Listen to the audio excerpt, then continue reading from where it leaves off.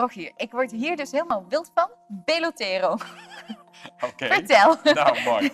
Wat is het? Belotero is een middel, eh, is een, eh, is een ja, merknaam van hyaluronzuren. En ik Ja. gebruik meestal Belotero Balance. En daar, daar gaan we ook over praten.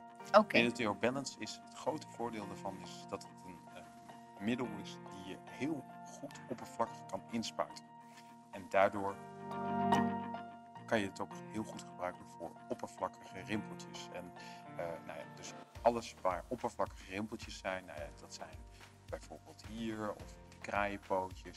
Je kan het niet hier onder de huid gebruiken, daar moet je weer echt een ander middel voor gebruiken. Eh, de verticale liplijntjes, eh, de horizontale halslijnen Mhm. kan je uitdingen. En de Devil's Fountain, dus de De decolleté, eh, kan je allemaal uitstekend gebruiken voor, eh, om Belotero voor te gebruiken.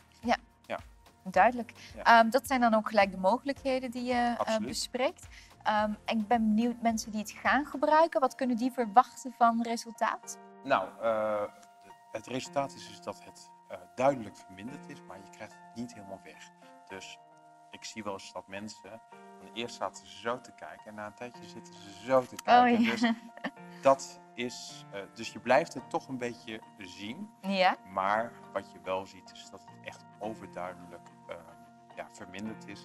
En wat het grote voordeel is, is met Pelotero, is, is dan hebben mensen wel zo van, goh, dit is nog steeds aanwezig. Maar omdat ik al die rimpeltjes verminder, hoor je toch wel heel vaak dat mensen zeggen, goh, het ziet er toch wel een stuk frisser uit. Ja. En dat is wel prettig. Dus als ik het, eh, want hoe lang blijft het ook? Dat is nog wel een goede vraag. Ongeveer een jaar. Dus als ik het even zou moeten samenvatten, is Belotero Balance, want Ja. die gebruiken jullie met name, eh, dus geschikt voor oppervlakkige rimpels weg te werken. Precies. Zowel in het gelaat als bij de decolleté En bij de hals. en bij de hals. Prima. Duidelijk. Ja.